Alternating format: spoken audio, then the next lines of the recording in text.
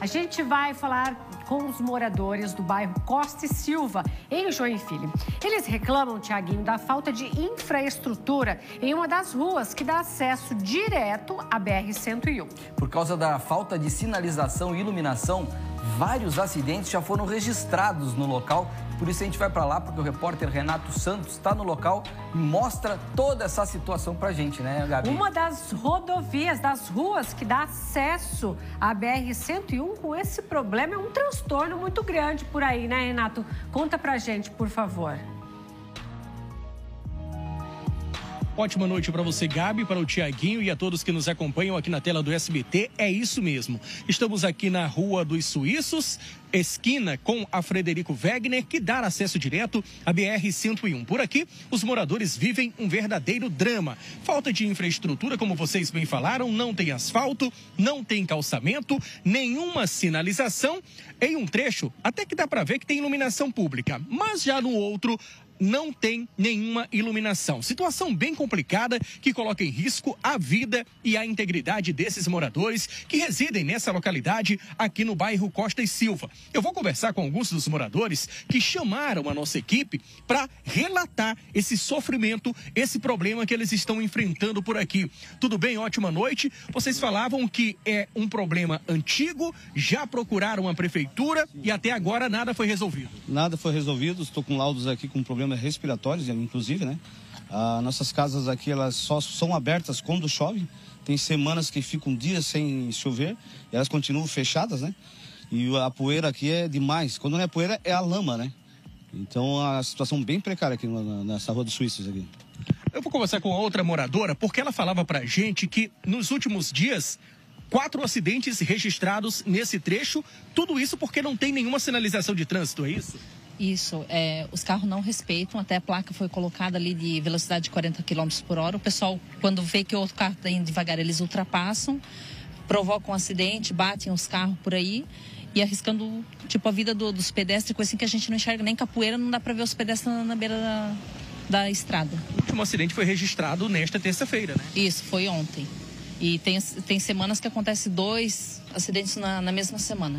Eu vou conversar com outra moradora que a gente conversava agora há pouco e ela me dizia que é uma situação que já foi levada para a Casa de Leis Municipal, para a Câmara Municipal, mas que até agora também nada foi resolvido porque ficou apenas em conversa. É isso mesmo? Sim, exatamente. A gente já levou até a Câmara de Vereadores e a única coisa que a gente escuta é que é obrigação da Prefeitura. A Prefeitura diz que é obrigação da Autopista Litoral Sul e nada é feito, nada é resolvido e a gente está à mercê da poeira. E isso, assim, eu já estou morando aqui há 10 anos e, assim, a situação é cada vez precária. E como o outro morador falou, a gente só consegue ficar com a casa aberta somente quando chove, porque quando tá dia de sol, assim, é impossível, não tem como, assim, a gente está à mercê da poeira. Você me falava agora há pouco também em off que vocês já tentaram, por exemplo, fazer lombadas aqui para tentar amenizar e evitar que outros acidentes sejam registrados. Mas a máquina da prefeitura foi lá e destruiu porque disse que não pode ser construída, é isso mesmo? Sim, exatamente. A gente já fez lombada aqui e daí vem normalmente a guarda municipal, diz que não pode, que é proibido, que não tem condições, que isso é ilegal e não sei o que. O pessoal que passa, que transita por aqui também é, e reclama que tem lombada, tudo que assim é para diminuir a velocidade, para até para a segurança dos próprios moradores e assim o pessoal que sai das empresas que sai a pé é para uma segurança deles, mas daí normalmente é passado a máquina, é retirada a lombada e nada é resolvido, a gente fica sempre nessa mesma enrolação. Ok, deixa eu conversar com outra moradora também. A gente conversava agora há pouco aqui com ela. Eu queria saber da senhora, moradora há muito tempo aqui da localidade. Como é que fica a situação? Revolta diante de um problema antigo que não é resolvido? Ah, é revoltante, né? Porque a gente tem criança pequena, não dá nem para deixar eles brincar na rua, né? Porque é perigoso. Os carros passam em alta velocidade, a poeira mesmo também, né? porque muito problema de saúde eles têm, né? É complicado. Roupa no varal mesmo não dá para deixar mais que dois dias. A gente viu que não tem calçamento também ao longo da via, né? Não, não tem.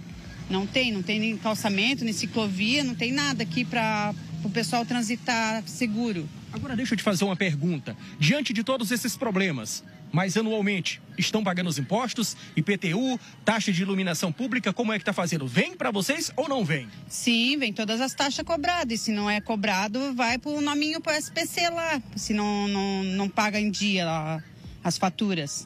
Tá bom, muito obrigado. Olha, como a gente já ouviu dos moradores, uma situação complicada, antiga e que não resolveu e que não foi resolvida até agora por aqui. Como a gente falou anteriormente, dá acesso direto à BR-101, uma importante rodovia federal que corta a cidade de Joinville. Nós procuramos a Celesc em relação à iluminação pública que é precária aqui no local. A Celesc disse que existem postes, existe iluminação pública e que o problema foi resolvido já na última semana. A prefeitura de Joinville Joinville, nos respondeu por meio de nota que os moradores precisam procurar a CEINFRA, a unidade mais próxima, e solicitar a melhoria aqui dessa via da Avenida dos Franceses e também o asfaltamento. Disse também que não há possibilidade de melhorias na via porque a via não é pública, é em uma área privada. Mas como os moradores já falaram, vem os impostos, vem a cobrança desses impostos, eles estão pagando, enfim. Nota da prefeitura, a gente dando aqui tanto a posição dos moradores quanto a posição do poder público. O jornalismo do SBT tá de olho. Retornamos com vocês aí no estúdio, Cleito e, aliás, Tiaguinho e Gabi.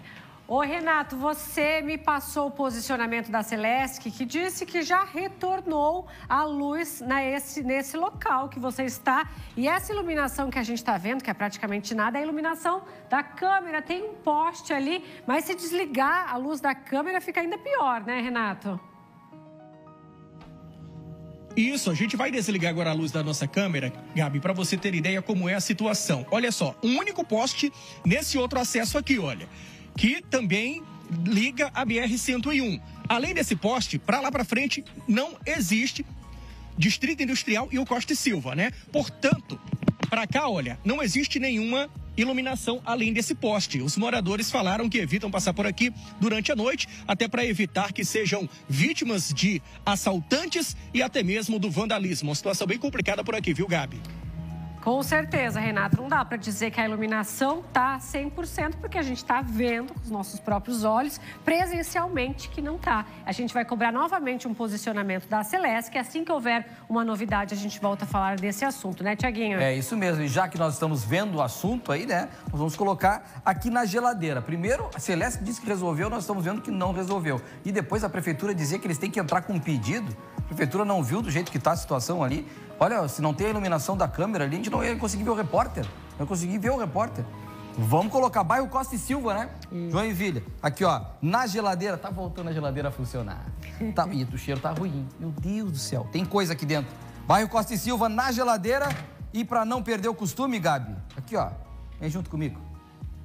Fazia horas que ela não... Ela tava descansando. Tava, tava descansando, né? Aqui, ó. Bairro Costa e Silva, Joinville. Mais uma, tá? Uma para Celeste, uma para Prefeitura. Celeste para Prefeitura. Boa.